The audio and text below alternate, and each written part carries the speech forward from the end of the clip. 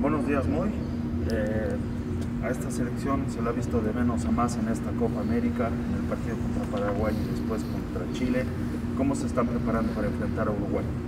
No, estamos, estamos enfocados en ese partido. Eh, ya desde que acabó el partido de Chile nos enfocamos en Uruguay.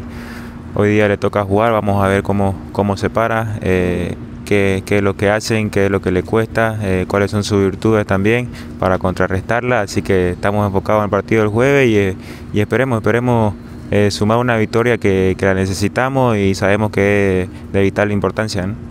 Pese a los resultados de los dos partidos, ¿cómo, cómo has visto al grupo y cómo te encuentras vos en, en estas preparaciones para el partido del jueves? No, bien, bien, está el grupo. El grupo tiene una, una gana de, tener una victoria, de, regalarle una victoria al, país también, que, que, la merece. El día viernes se hizo un gran partido, pero lamentablemente no ayudó resultado. Eh, tuvimos llegar, llegar al arco rival que no pudimos concretar, así que eso es lo que nos falta.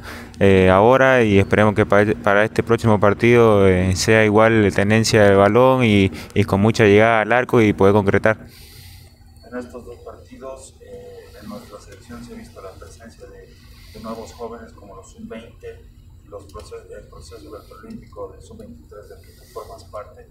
¿Cuán de importante es esto para nuestro fútbol, tener gente joven?